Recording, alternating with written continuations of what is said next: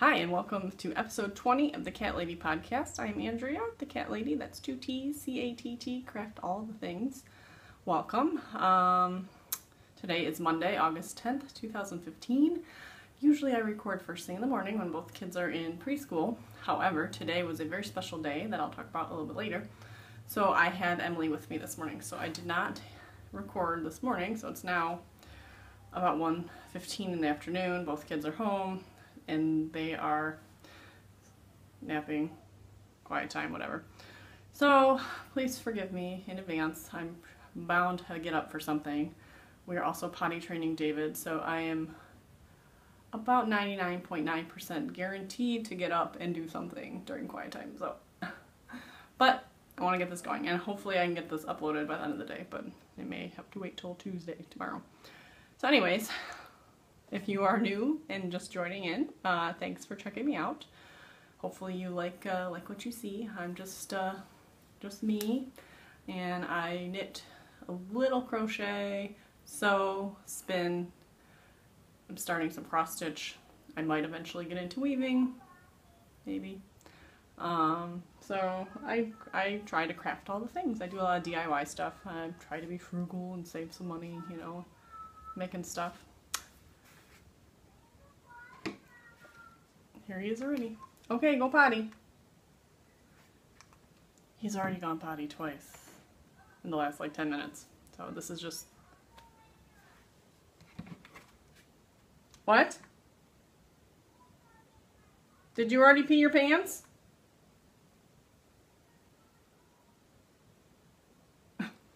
okay, it, it begins already. I will be right back.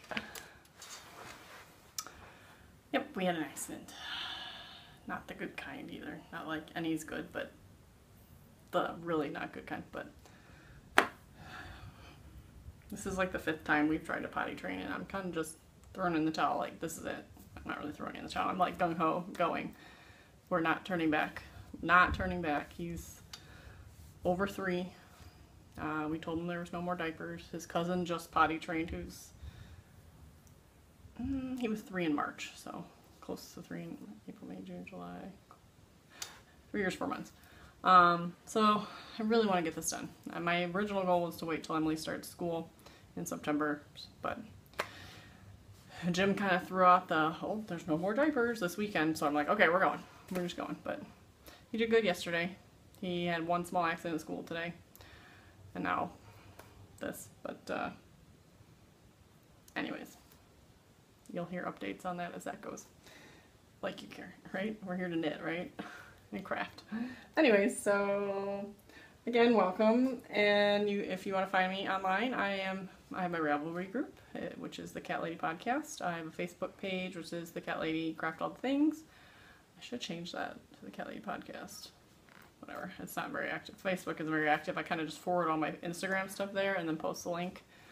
And then I share the link to my timeline, personal, so it's more just just I have that extra thing out there. I don't really get a lot of action going on there, but uh, I have some. Um, Instagram, the cat lady, two T's. Um, that's where I post a lot of stuff uh, when I finish stuff or you know stuff I can't wait to share. So check me out on Instagram and show notes are on my blog, which is thecattlady.blogspot.com. And I try to do show notes every every week. Sometimes I miss them, but uh, if I talk about any certain patterns that I don't mention, that I forgot to link or talk about, please let me know. And I will uh, message me on Ravelry or Instagram, wherever, Facebook, and I'll get back to you. Um, there is an introduction thread in the Ravelry words Ravelry group. Uh, please come in, introduce yourself, and I will say hi to you. So new this week, we have a lot of people that I already know um, not, you know, just know from interacting uh, through podcasts and stuff. But uh, True Canuck Girl from, oh, oh, I missed one, sorry. A solitary knitter. I don't know her, um, but her name's Anne. She has two sons, two grandsons. She's retired. She knits, crochets, sews, and she's learning to weave and quilt. So she is, I don't know if she has cats, but she is a cat lady too. She likes to craft all the things. So welcome Anne. And she's posted some great things in our catalog uh, giveaway thread.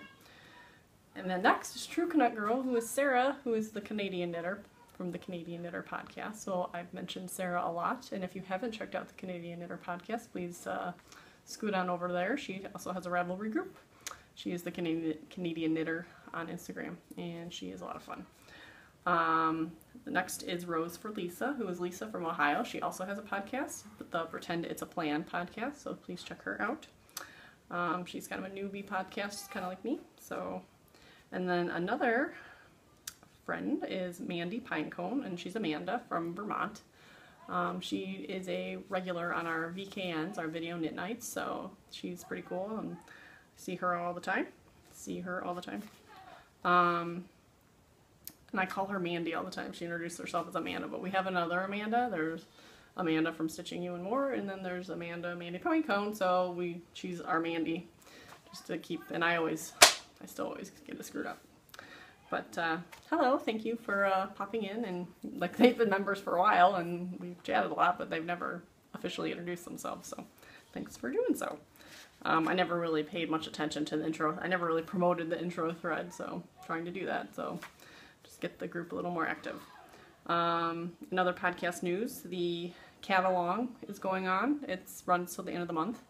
I will close the thread right before I podcast on Monday, August 31st, and I will draw the winner on air or on video, whatever. Um, so a few more weeks to go. Anything you're working on that's finished, that you've uh, that you're finishing up, um, feel free to post it. David, go to bed. Usually I would edit all this stuff out, but I really don't want to stop and start a million times. David, go to bed. So I'll try not to do that too much throughout, but it's going to be a tough one. Um, so the catalog, uh, I will post a picture of the prize. It's a bag by me, a skein of yarn from Chasing Acorns, a set of stitch markers by me, a uh, little hair clip by me, and a $6 credit to Ravelry for pattern of your choice up to $6 US um, from Sarah, the Canadian knitter.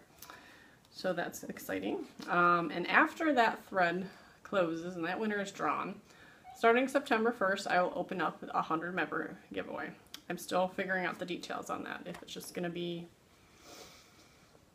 post your favorite memory, even though I'm only on episode 20, there's not a lot of memories.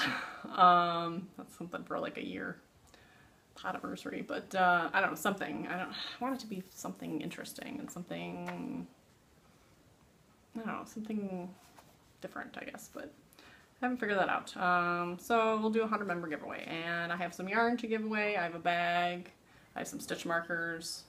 Um, so we'll see. Maybe it might be a similar prize bag package to the catalog, but just different things. So, uh, so on to the knitting let's see, what was I talking about last week? So last week I finished my socks and I was working on my shawl, my spearmint tea shawl. That was it. Well, this week I didn't really touch my shawl. Eh, it's a lot of stuck in it, like knit purl stuck in it too. It's not even knitting it around. So it's, and you know, each row increases. Each row, so the knit side and the purl side both increase. So this thing feels like it's getting like a beast. Um, so I'm just trying to chug through it to get to the lace part because that'll be a little more interest, add a little interest to it. Um, so I'm not even going to pull it out because I really literally only did like four or five rows and it's just straight stockinette rows. So get in bed please. Today we're just keeping it real, aren't we? Um, so I didn't work on that. But I did, let's see, what was I, oh, okay, I did start a few new projects. I can't stop, I just can't stop. So I, I think I mentioned before I was toying with the idea of doing the miter squares sock yarn blanket like everybody and their neighbor is doing.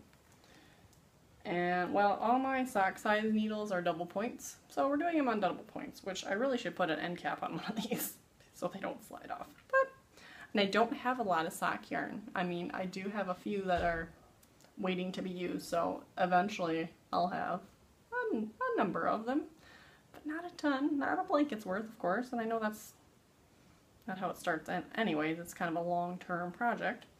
But I started and I got, so this is my HO, I'm calling it my HO, my half object, because it's really never going to be finished, but it's a partial, partial finished object, partial object, a PO.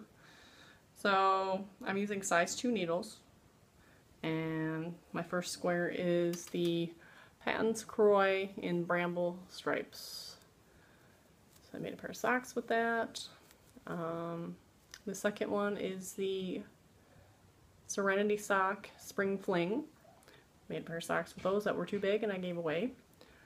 And this third one I'm working on is the, what is it? I always forget the thing. HPKY, hand painted knitting yarns. Superwash sock Corriedale. I don't think it had a colorway on it. I tried to look it up before and I don't think I ever found it. Just started that one. Um, and that was what I made my sunlight shawl for sad people which I love. I really can't wait to pull out my shawls again. I mean, I don't really want summer to be over, but I really want to pull out my shawls. I only have two, but I want to wear them, but it's been too hot. So they're like the neck wrap shawls. Um, but so those are my three, and I have, I only have, I think, one more I can use right now. Let's see. And I really can't use it. It's like up in the air. Where is it? I think I weighed my first square, which I know it's going to vary per yarn too, but it took about four grams, which like five is the average, I think. So four grams, that's right on target pretty much. This, I think I have like three and a half grams. Or maybe just about four. The scale I think might have said four, but it was like bouncing back and forth. So I don't think there's going to be enough. And this is kind of an important one, but I made a shawl and I, I got, I like practically played yarn chicken, and so I have this tiny little ball left. So this is the, uh, I don't know, see it? Anyways, this is a uh, Cherry Hill Finger Paints, Cherry Tree Hill Finger Paints in the black cherry colorway. And so actually I just messaged someone on Ravelry today who had some of this and made a shawl and says there's zero left in the stash. But I looked at the shawl, looked a relative, and she probably didn't use all of it. So I asked if she had any left, and maybe she could send me a gram or two. So really, you only just need like literally a gram or two.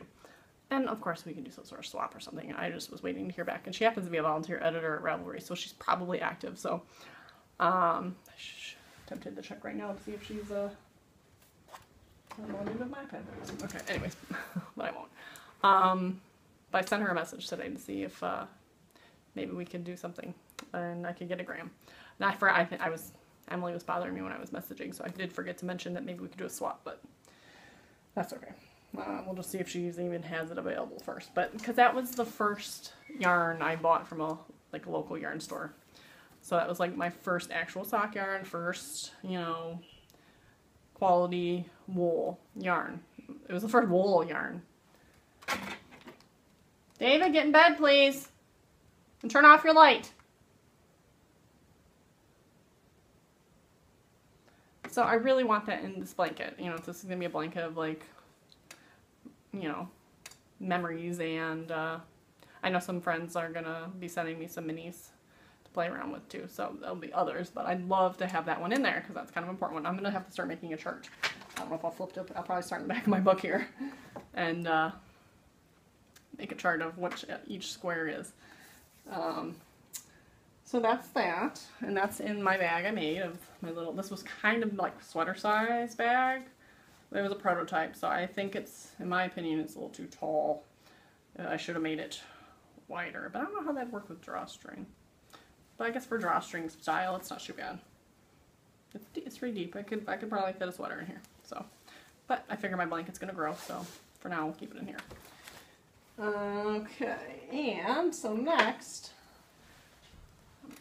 if uh, you remember, if you saw my Pawtrax socks, um, I don't have the sound on, so he's running like mad. He's like mad crazy running around in his underwear. So I'm just gonna get through this as long as nobody's falling over uh, and screaming. But uh, I made a pair of Pawtrax socks by Gwen Clark, who's a pattern, um, for myself. And uh, as I was making them, uh, Emily kept saying, are those for me? Are those for me? Like, no. And then like next time I'd pull them out. Are those for me? Are those no? So this weekend I just I just kind of started, figured, you know what, let's make her some. So I'm making tube socks because of course her feet grow so fast and there's no way I want to make her a heeled sock.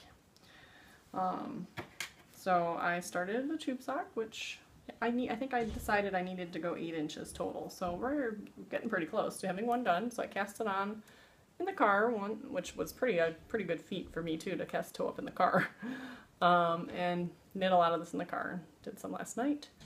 So there's one. Okay, now there's door slamming, so I will pause again and come back to that. I am so sorry.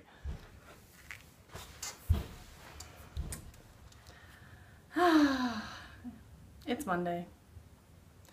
So anyways, uh, so I'm making her tube steps, which I shouldn't be because she's being a brat today, and if you hear any pounding, she's banging on her door. So, yeah, anyways. So I don't know if you can hear that when she does that pounding, but she's trying to make me mad, so, but whatever, she can pound her door. Uh, so anyway, so I have that going on, and I want to finish those. So those should be simple. Uh, I don't do enough ribbing on socks, so I want to make sure to do proper ribbing on this one. Because, yeah, we were talking on a video chat uh, the other night. I'm like, how many rows of ribbing are you supposed to do? And they're like, oh, like anywhere between like 20 and 30 is good. I did eight on my last sock. Eight rows. So yeah, the thing doesn't stay up for for for, for poo. You know, it just it falls right down. It's still still cute. I'll still wear them, but yeah, I just I'm not really good at sock construction. So I'm on a mission. So speaking of, I guess, I have lots of sock yarn to practice with. I want to start casting on socks. I need to go down, step down a needle size. I'm going to start with my ones since I accidentally used my one and a halves last time. I was meant to use my ones, but I used my one and a halves. I'm going to start with that, but I really think I'm probably going to need a zero, but I don't have a zero. So I'm going to go with the ones. I'm going to swatch. I'm not a swatcher. I hate swatching. I'm going to swatch. I'm going to check my gauge. I'm not to like hardcore swatch. I'm just to swatch. I'll, I'll do it in the round. I'm not to wash it. Really not to wash it. I figure if it feels good, if anything, it might, I don't know. I think all the, I don't know what the, if all the ones I have the superwash or not, but anyways, I'm not gonna wash it because I don't want to waste the yarn on a swatch. So I'm gonna, I'll just start knitting, and I don't, I don't know if I want to do cuff down or not because I, I could just start knitting cuff, and if I like it, just keep going. So we'll play around with it. I do like doing toe up though, but maybe I should try cuff down. So I'm on a mission to determine what is good fit for me because I my feet are very narrow then they're very long. I wear a size 11 and, oh, or 10 and a half, like 10 and 3 quarters probably. It's like I'm kind of 11's a little big, but I don't have any other options. um, but my feet are so narrow and anytime you, especially for dress shoes, you get like into the 11s and they're all wide. So I think when I did went shopping for like running shoes, they recommend getting like a size above your size. So I got like 11 and a half, like double A's of course, had to be special ordered because it's like the most random size on the planet for a shoe. Um, but they felt good. So 11 and a half double A. Um, so as far as socks go, yeah, it's like the middle part of my foot is so narrow, but that when you get to the heel and the cuff, it's like, yeah, it stretches out. So it's like, do I do I need to decrease in the middle and increase before the heel or something? I mean, like, do I really need to get into that, like, specifics of sock construction for myself? So I don't know. I think if the fabric's dense enough, so maybe if I do a zeroed or even a double zero, and I get enough stitches on there to at least compensate for the narrowness in the middle, that when it does stretch a little, it'll still be a, it won't be like super thin, it'll be firm still, so. I need to, next time I um, have some extra spending craft money, I'll have to uh, look at getting some smaller size sock needles. Or if anyone has some spare double zeros and zeros that they're not using, let me know. Maybe we can do a swap. Make you a bag. um, so that is all I got for knitting socks. That one. So I use. I didn't really use. There's a two. There's the pattern I sort of, sort of, kind of used. It's called Tube Socks for Kids by Jane Richmond. But I really just looked at it and so just saw the general idea of what you do for a tube sock, which it's a toe and you just keep knitting. so, excuse me. and then of course the paw tracks, and I'm just doing like the paw tracks and setup is the left sock and right sock. I'm just doing the right sock pattern and centering because they're off center in the original. So you have them off center on one side, off center on the other side. So you have two socks with the paws going up each side. This one I just centered them. So cute. Um, but I'm using the same written pattern notes for that. so into sewing. I finished a couple bags. What did I do with those bags? Didn't bring them out. Still struggling a little bit when it comes to the bags with contrasting fabric.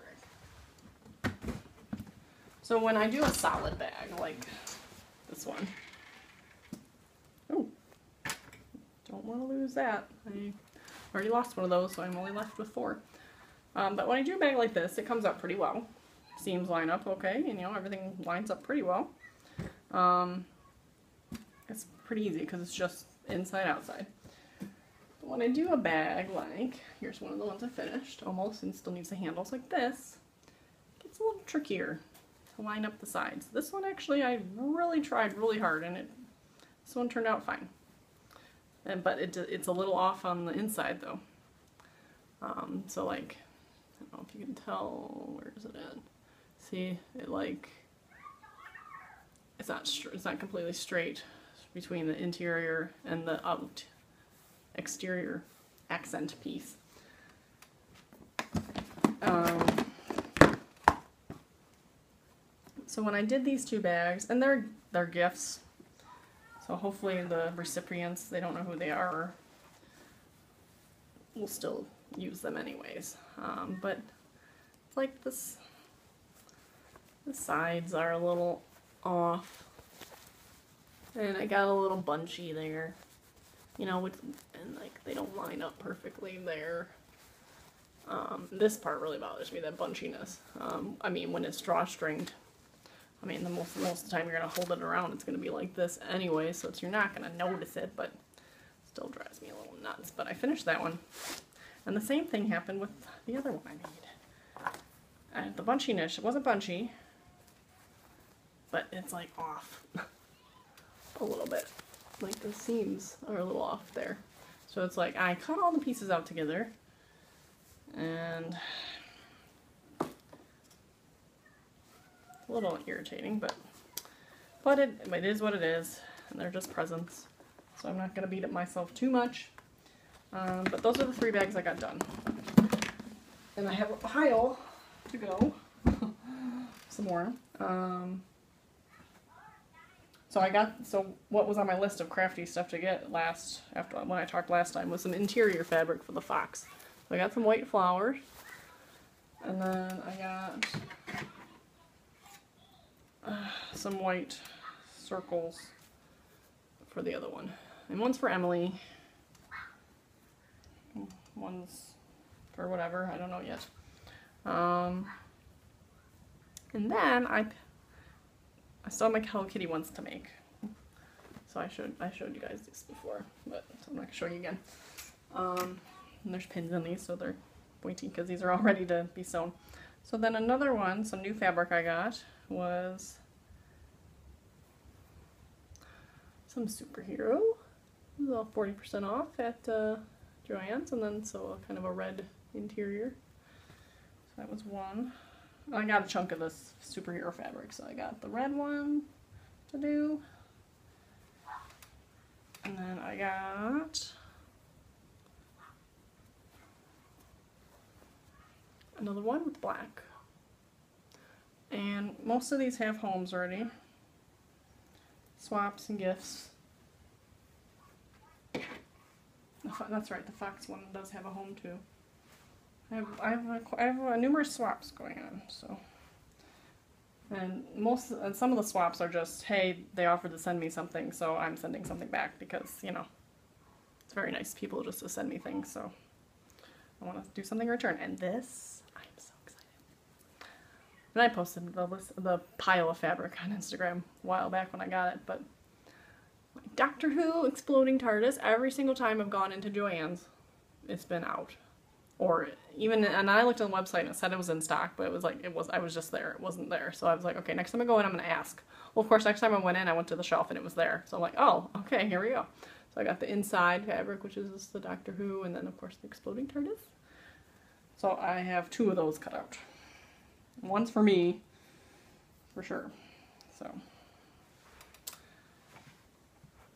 those are so that's well, how many bags do I got here? So I got one, two, three, four, five, six, seven more bags. And then I really need to take a break from the bags unless I start getting more people to swap because it's just such an easy thing for me to contribute, you know, because I don't have a lot of yarn to give away. I don't have a lot of, I don't have mini skeins yet. Um, I really don't have anything to swap. I don't got a lot of money to go buy stuff either, so it's kind of like I gotta rely on my bags. I'm working on as far as the construction process. I mean, it's just like getting everything to line up and cutting everything evenly. It's hard. It's hard. So it's like people are like, you should sell your bag. I'm like, not quite comfortable yet with that. You know, for selling something for you know for a fair price. I mean, it's got to be like in the mid twenties because they take a lot of time.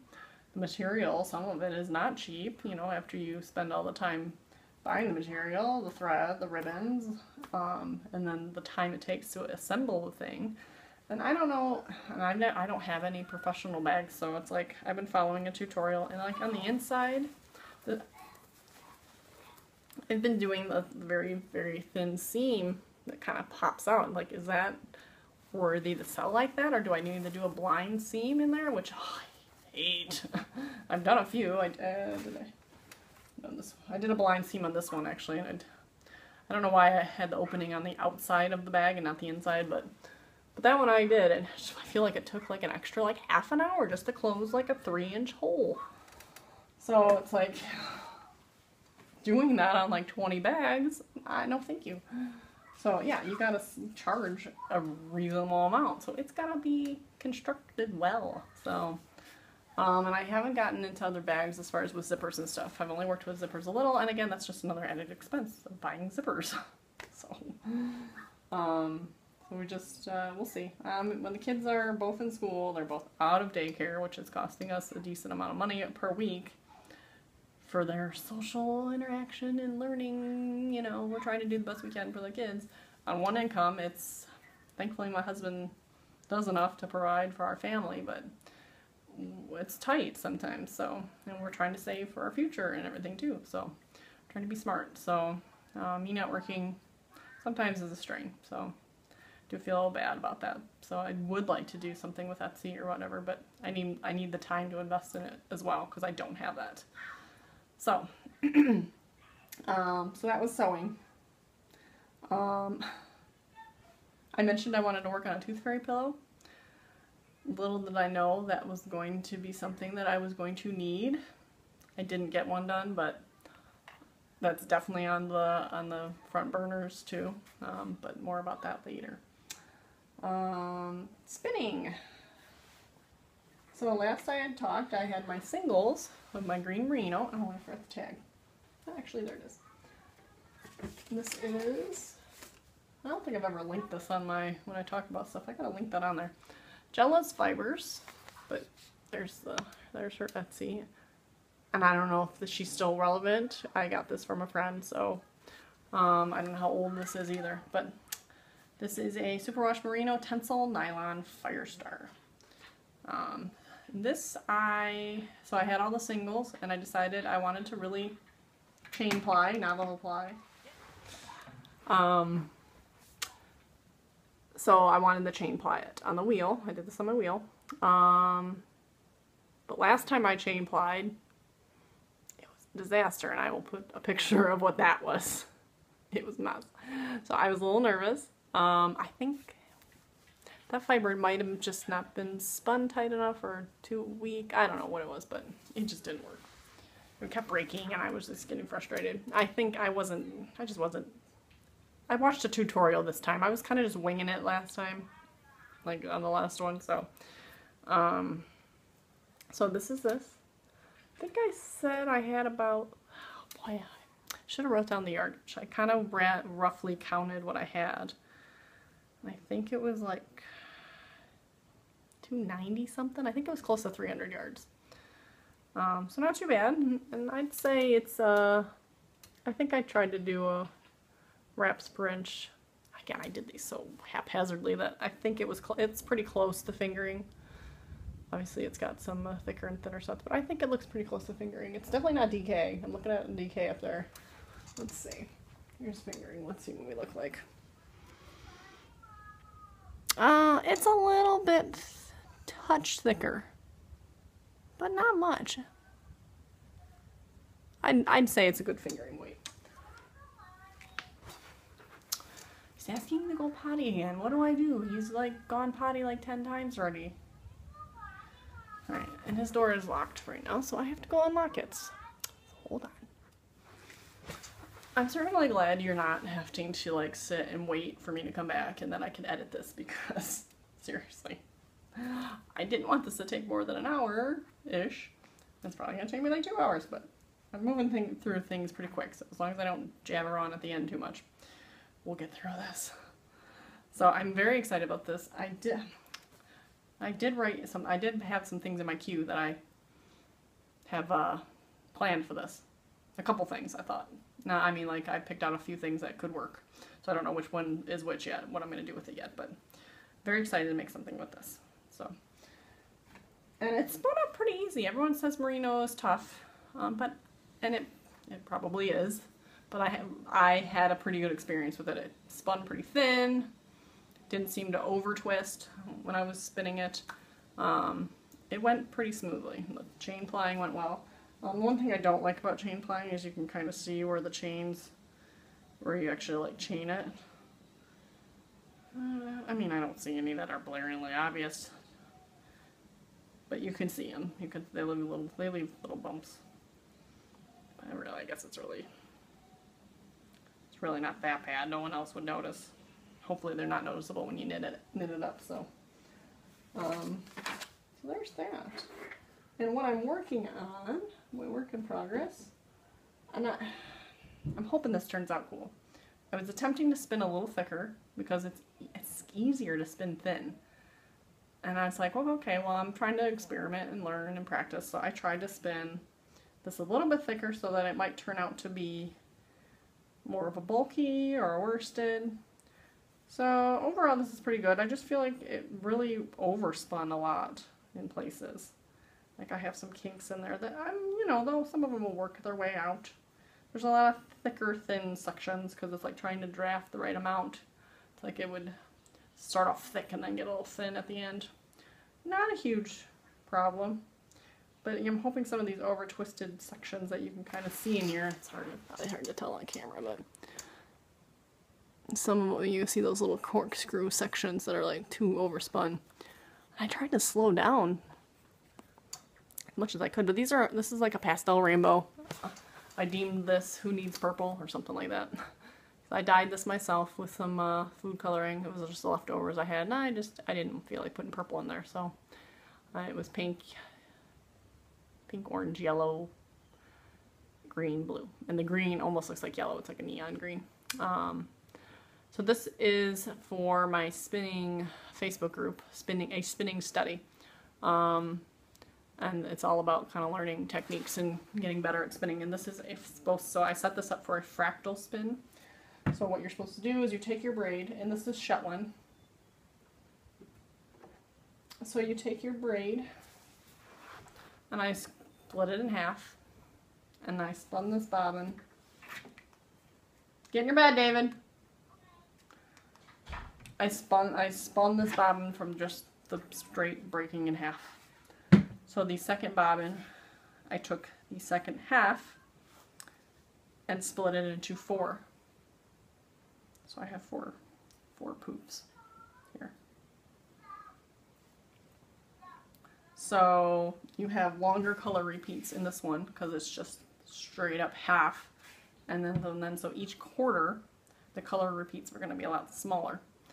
And then you ply them together and you get what's a fractal yarn and it's just the way the colors so it's going to have like this kind of striping to it from this bobbin, but but then it's going to have like these, you know, pockets of different colors within the stripe from the second when you ply it to ply. So I'm excited. Um, so I got to get these going. And that spun up really fast since I did spin it a little thicker. Um, I got it done in like two sessions, I think. Um, so that's that.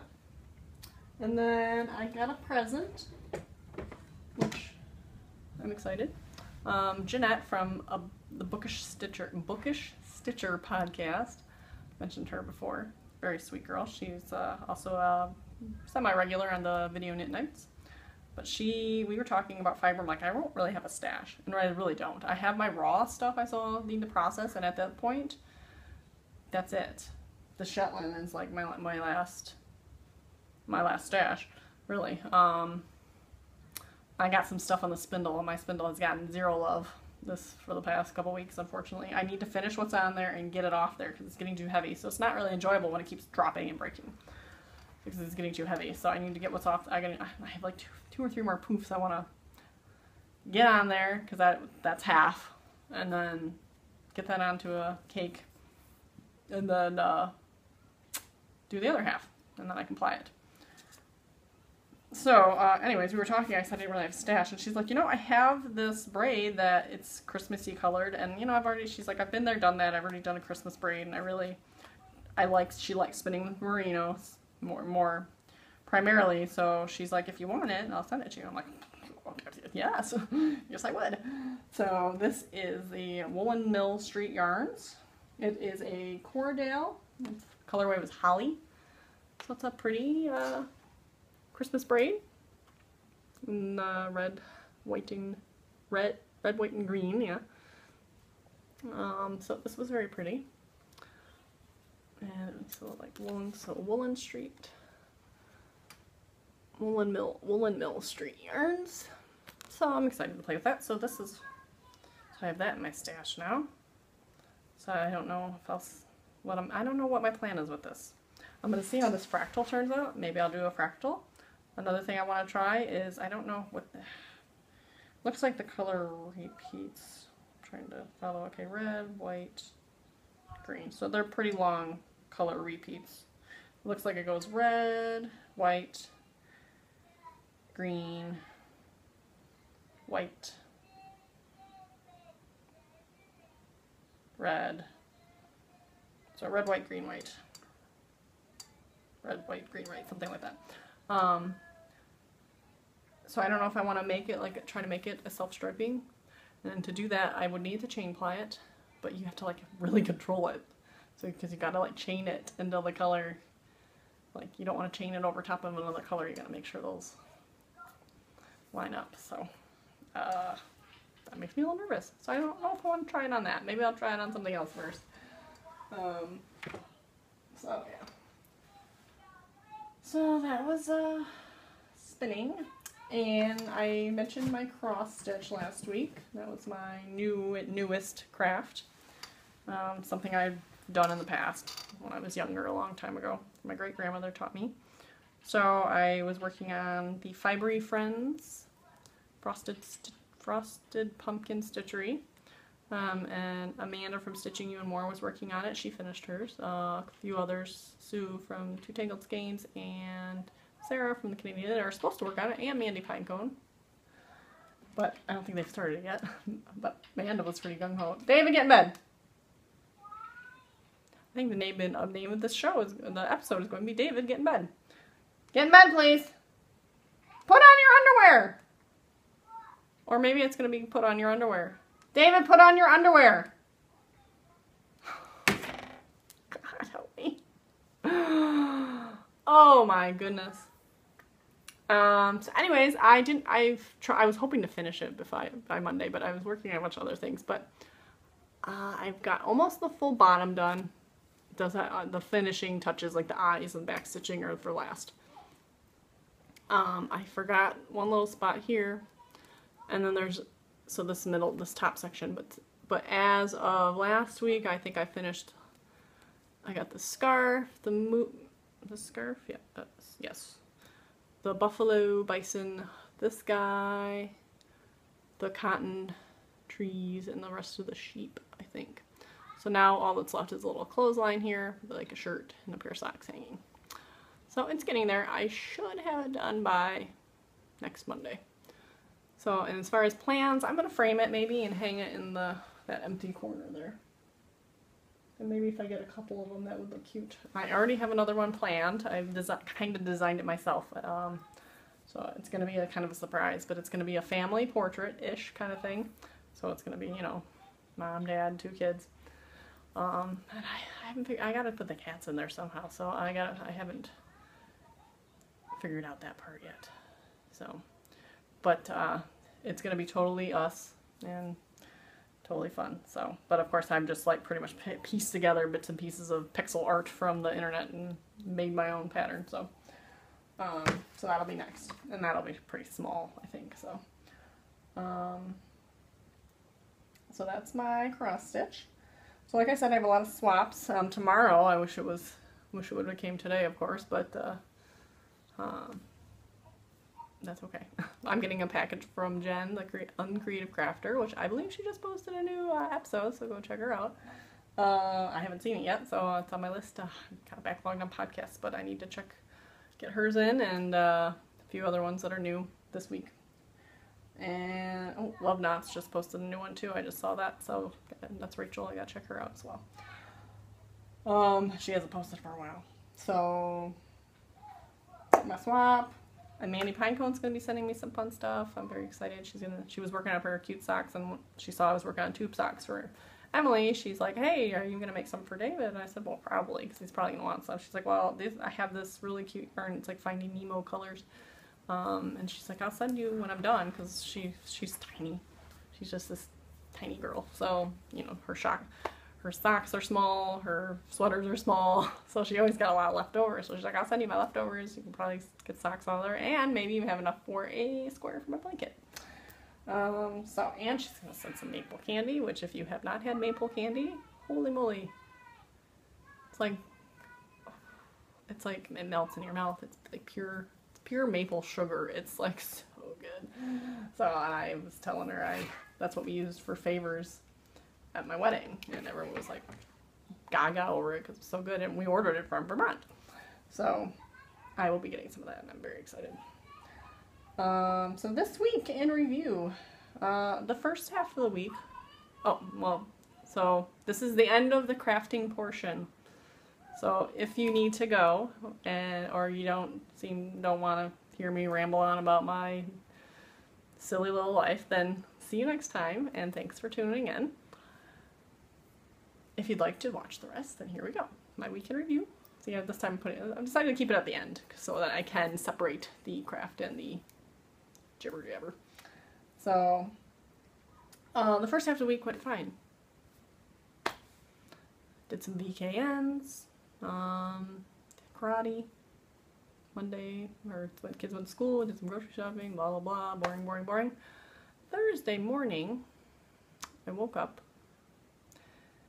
and David was crying that his mouth hurt. Like, okay. So I'm like, okay, let me see your mouth. And his front tooth, it almost, it really looked like his tooth was falling out and there was another tooth coming in. Like, I'm like, you, what? What? You're three. You cannot be getting a new tooth. This is ridiculous. But there was this, like, line, like, right across the top of his tooth that was, like, red and kind of bloody, you know?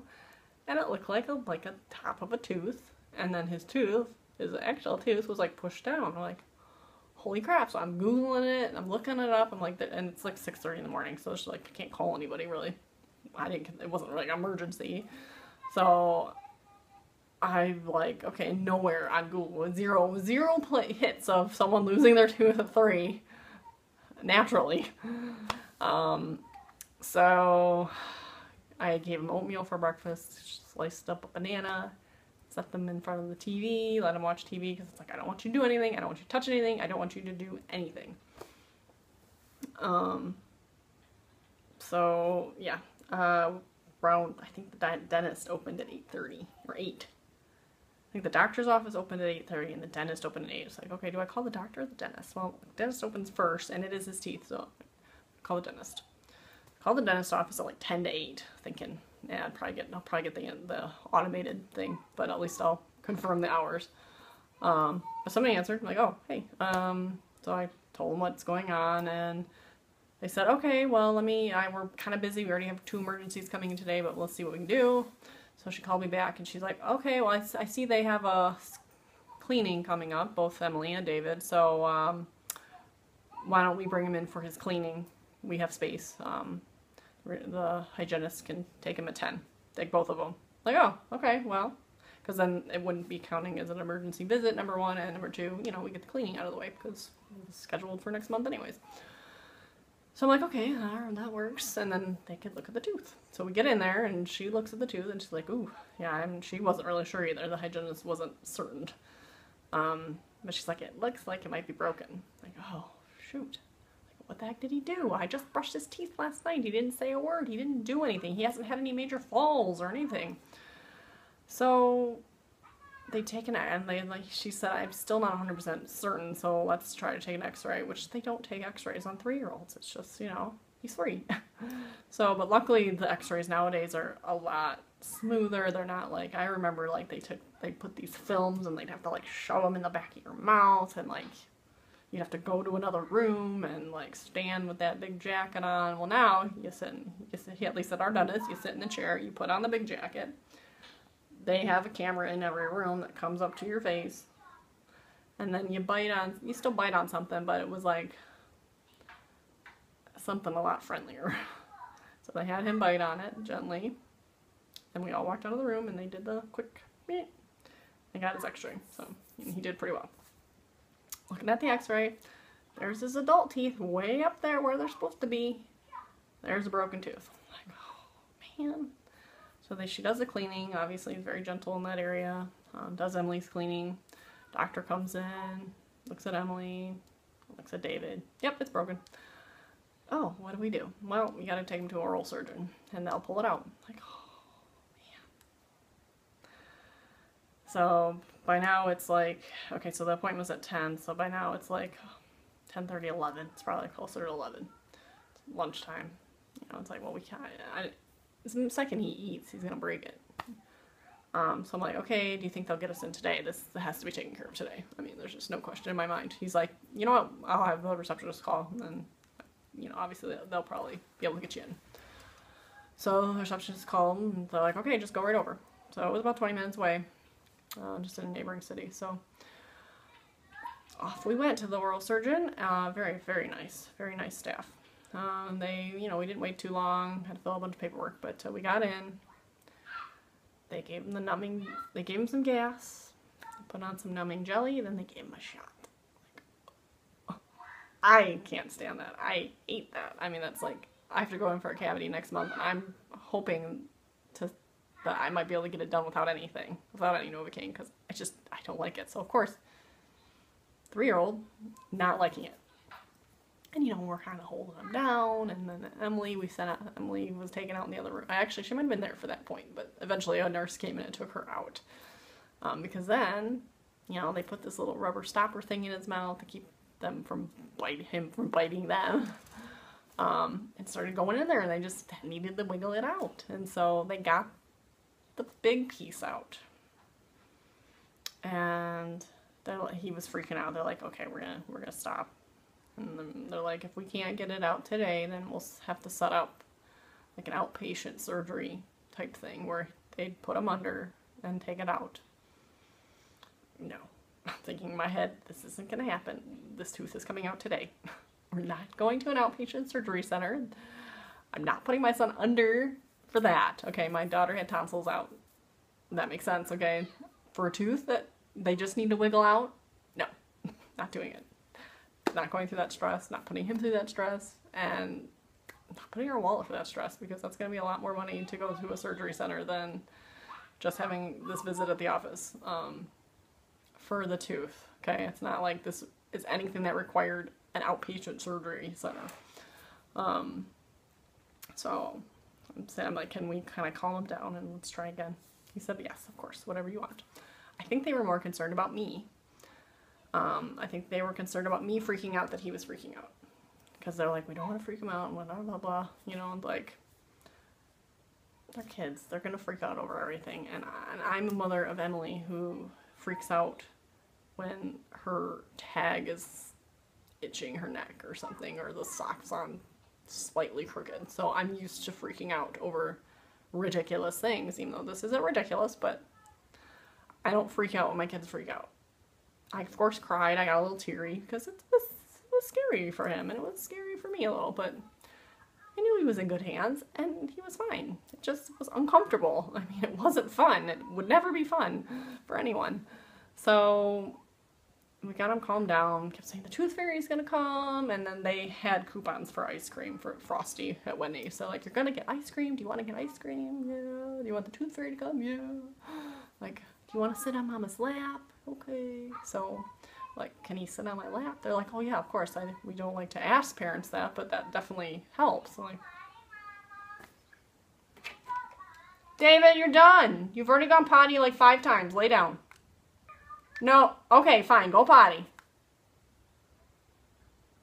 think his door's still open. Um, so we get him calmed down, get him in there, holding him on my lap, and of course, you know, Jared leans back, I'm kind of holding his head, I'm kind of holding his arms, and there's two other nurses, like, on each side, you know, doing stuff, and then the doctor comes in and starts getting in there again. As soon as he gets in there, Dave's like, ow, ow, ow. I'm like, okay, ow. I mean, you've been numbed up. I don't think it hurts. So he gave him another shot, like, just in case. I'm like, oh, God. Of course, he freaked out again. Some more. Um, I'm like, it's all right, it's all right, calm down. I'm holding it tight and whatever. And then, so they start getting in there. He's freaking out, you know, and he's like freaking out. And I'm like, look, I'm going to hold him real tight. Just pull it out. So I, you know, super duper bear hug. I think I'm holding his head down and holding his arms in. So we're like, we're holding him down and he got it out. And it literally took like a minute once, not, not even like 20 seconds once we held him down. They just, they just needed to get in there, but he was moving around so much. So I got it out. So, and it, you know, was bleeding. He was crying and spent blood everywhere. Like, that. Luckily, Emily was out of the room for this part, but, uh, so yeah. Wait, but he was fine. Five minutes later, he's fine. He's playing with his bouncy ball he got from the first dentist. Um, and we went to Panera and he had broccoli cheddar soup and we went and got our frost and he ate like a baguette. So this kid was like mowing down baguette and broccoli cheddar soup and we went to Frosty and we got our ice cream and then we went home. He slept for like five minutes in the car so when we got home, he wasn't tired, so he didn't nap. And he was back to complete normal. So I'm gonna go check on him because he said he had to go to the bathroom, so be right back. Seriously, this kid's peed like five times during quiet time.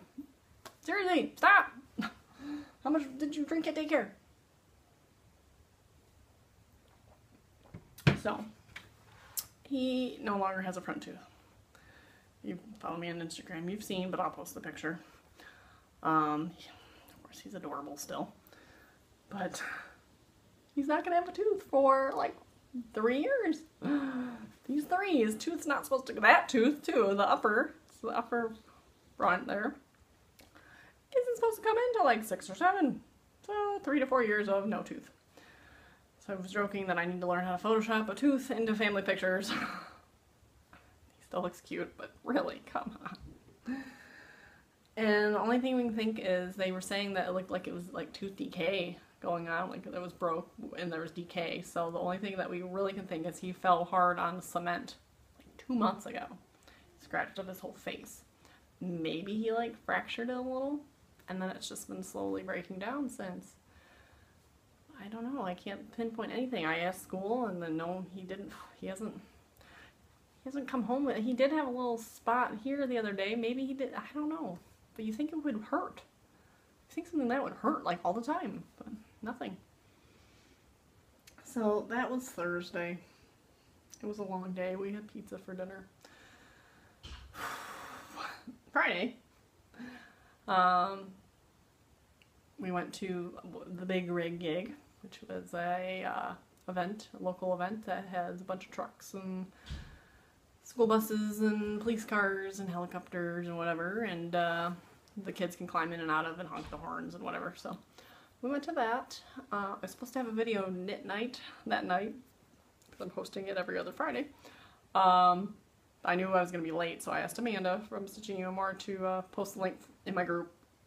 It's always the same people, anyways, but you know, just in case any of you guys want to ever check it out, look for the link. Um, I didn't show up because I was just just tired. I was just, it was a long day. It was a long day Thursday. It was a long day Friday. We had fun, but it was just a long day. But we went out for ice cream afterwards because yeah, by the time we, we got home, it was like eight ish. You know, by the time we got the kids rustled to bed, and then Emily was freaking about out about something, and it was just I was done. I was just done. So uh, Saturday then it's just it was a just go go go. Saturday we went to uh, Family Cottage, my husband's in laws, and the association that this that they're part of, this lake association, it was their 90th picnic, 90th year. Um, so that was pretty cool. So this has been in my husband's family for numerous generations. Actually, I think it was his great grandfather who bought the property and started it or something. I don't know, but uh, apparently the association has been around for 90 years. So, and every year they have a picnic, and every year we try to. I think we've gone to the picnic every year since we've been together. I'm trying to remember. I think so. I don't think, if anything, we've only missed like one, one or two. But uh, the weather was looking sketchy. It raining on our way up. It's about an hour north of us. Um, but it, by the time we got there, it settled down and it was fine. It was overcast and nice. You know, it wasn't. It was overcast, but the weather it was like mid 70s, so it was comfortable. Kids had a blast running around playing with. We brought their ball, their soccer ball, and their baseball, and they have a bunch of games for the kids. Um, and of course, uh, we have, they have pig roast and fried chicken and all sorts of yummy food. Which Jim and I are on a diet, so we, behaved ourselves. We ate we ate plenty, you know, we ate plenty, but we did not overeat. I only had one cookie, which, if you know me, I adore sugar, aka the maple candy spiel. Um, or for example, not really aka, but anyways, um, I love sugar, so. Uh, so I only had one cookie out of like the massive tray of cookies that grandma put out. Um, I didn't have any beer, which was pretty good too. Usually I at least have a drink or two when I'm out, but yeah, trying to be good. So, um, and we also had pizza for dinner on Friday at the Big Rig gig, so that's the only option. You have pizza. They have pizza. So pizza Thursday, pizza Friday, barbecue Saturday, and then we had some leftover barbecue for dinner on Sunday. But I'm doing good. We're still doing good. So um, that was Saturday. So it was a kind of a long day, a fun day. And I did a VKN that night, and that was fun. Um, I stayed up till like midnight, which get in bed.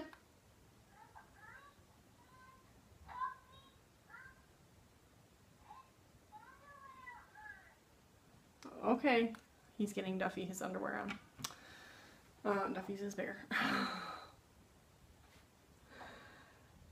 Sunday we cleaned house, did some odds and ends. The kids washed my car. Like they washed like two feet two feet up in a stripe on certain sides. You know, it's like they didn't get the bottom, they didn't get the top, they just like mostly the front. we were just having fun outside. Some water, but uh, and we've been potty training David. So that kind of just came up on Sunday. So he did fine Sunday. An accident outside. And then he did okay today, but he had an accident outside at school until quiet time. He had an accident, but really want to get him potty trained. Really, really, really want to get him potty trained. So, um, but this morning, the reason why I'm filming late in general and whatever is Emily had Emily and I had a little uh, preschool or preschool kindergarten meet and greetish kind of thing. Um, basically, I showed we signed up for a little time slot, so there was only like 12 families at per slot. Um, so we came this morning at like 9 o'clock, showed up at the school, and she was kind of corralled into a classroom with all the kids and all the kindergarten teachers. And the parents were corralled in another room, the principal, and some paperwork to fill out, just kind of a getting to know your child paperwork for the teachers to look at. Um, basically, the point is they're they're trying to kind of get a feel of how the kids interact and then use that to divide the classrooms amongst them. So like if they find some kids mesh well or some kids don't or you know obviously they're only looking at 12 at a time so you know they don't know how these 12 will mesh with the other 12 but they'll get their personalities hung out for about an hour 45 minutes. So i mean extremely boring for me because i just sat there doing nothing for 45 minutes. You know we filled out the paperwork and i was like okay and i didn't know anybody else there and i sat at the table with another mom who was very quiet. I didn't even she wasn't approachable. Like i'm not i'm shy too but once I get going, I'm happy to talk to you and I feel like I'm approachable and nice. But as far as a conversation starter, I'm not much of that either. So, unless, you know, there's something I can jump off, you know, and start a conversation, but she was kind of just the whole time. So I was kind of just the whole time. So, but Emily had a good time. She said she met, made, she played with some friends, and she liked the teachers, and she was pretty uh, happy when she left. So that was good. Um, so yeah, less than a month away, and she starts kindergarten. So, but that's why she wasn't at school, and so she goes to school tomorrow. Um, so I'll just be me and David tomorrow. So I might have to, I might end up getting this finished tomorrow because it's getting already late. I'm blowing away quiet time. So we'll see what I can do. Maybe I'll work on it tonight while I uh, video chat or something if I do that tonight. So if you're interested in video chatting, Love Knots and Stitching You More is having a weekend tonight. So check out their, uh, a link will be posted on their Ravelry groups. Um, and that's it. Was there anything else I did today? No. So coming up this week, I want to finish my tube socks, finish my cross stitch, uh, finish working on whatever squares I can. I think I only have that one left. And the bramble stripes, the spring fling, sunset, and yeah, the grimes that I don't have enough of. So my I'm on a mission to get that from from somebody that has it in stash. So I, I have a feeling that'll work because that would be so cool if I could just get a little piece of it to to put in there. Because I mean, we I talk, was talking about this on the weekend the other night, and uh, you know, like we can always just throw in an extra something similar colored at the end. I could, but it'd be nice if it was all the same color. So see if I can find find a chunk, and it's such a small amount, you know. If if no one's making a sock yarn blanket, then it's easy just to say, yeah, take it, you know. I don't need it, so I'll even send her postage or something. Um, supposedly my Cormo that I'm getting for free, just so I paid for postage, um, is shipping, as she mentioned, going to the post office today. So I'm hoping that's going to happen. Excited to get some more raw, raw fleece. And this one's going to be tricky. I just was reading about it in my fleece and fiber source book. And it is, it's like a merino. It's a merino cross. It's a merino Corriedale cross. So it's still very delicate like merino. So as far as washing it, got to be very careful. But it's going to be a small amount. I mean, I gauge the package to be like eight ounces, which, so half a pound, which I don't even know if it'll be that much. Um, so it might be four to eight ounces, I don't know. So, um, so yeah, we'll see, but, uh, I gotta be very gentle with it. Um, definitely I'll put it in a suit, suitcase, pillowcase, or mesh bag. Um, that worked out well last when I rewashed the uh, BFL. So I'm excited to get working with that too. I do want to, I still want to get something to blend. I'd love to blend and make a roving out of it. So I really, I mean, I like to experiment spinning from the lock as well, or from the flicked, flicked locks, but uh, I do want to try to make some roving. So still on the back burner too. Um, I think that's all I got. Uh, I should wrap up anyways, because who knows what's going to happen next round here, and try to get this on the computer and start processing all that. Uh, I'll try to throw in pictures when I talk about things. Um, and yeah, I also have the, since, I, oh, so the diet and, ex diet and exercise, turning into the diet, because we've done, we've done an exercise. I got on the treadmill once, which was nice. I did that. It was good, but just haven't been on there since. Um, but I'm down like three pounds ish, maybe more. Um, this calorie counting just works. And we use MyFitnessPal and we just enter in everything we eat. I'm limited to 1500 calories a day, which is plenty. I usually have one to 200 to spare. I still have snacks. I still have beer. Yeah, I just factored in. So tonight and this morning, since uh, it was me and Emily, we stopped at Great Harvest Bread Company for breakfast. Well, of course, you know, I got we got like a cinnamon roll and a muffin. So I had like 700 something calories for breakfast. Well, that was my heavy meal for the day. So I, and I got a cup, had a cup of coffee this morning. So for lunch, I had Greek yogurt with honey and granola, which was only like 300 calories. So for dinner, I'm making some grilled chicken, and I'm gonna make a big salad. Chicken, chicken on a grilled, uh, grilled chicken on a salad with some uh, strawberry balsamic vinaigrette, which is like only like 20 calories a serving. So I still have like 100 something calories after all that, and I had a horrible breakfast. So it doesn't. You, it's like Weight Watchers. You can eat whatever you want. You just have to pay attention to your quantity and just you know balance it out. So it's like instead of eating your muffin for breakfast and then going home and having pizza or, you know, macaroni and cheese or something that you know is carb or calorie loaded. And this is just counting calories, so it's, but it's working.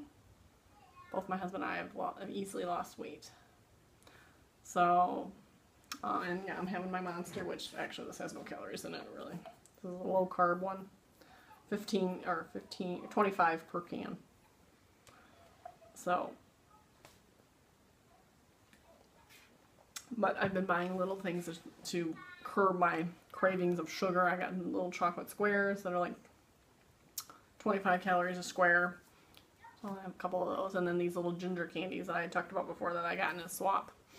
Um, they're minimal calories for like two of them as well, so those really help to ease that. And I, you know, I'll eat pretzels for a snack. Um, we try to have a lot of fruit for the kids anyway, so I've been eating fruit. But tonight, yeah, I'll just have a big salad with chicken on it. Um, I might still be hungry a little later, so I'll probably have, I'll, I'll be snacky. That's what happens. I just, it's more of a, I'm sitting around bored, I want something to eat. So that's when I'll pull out my little chocolate square or my ginger candies or something. And a big jug of water, because that always helps.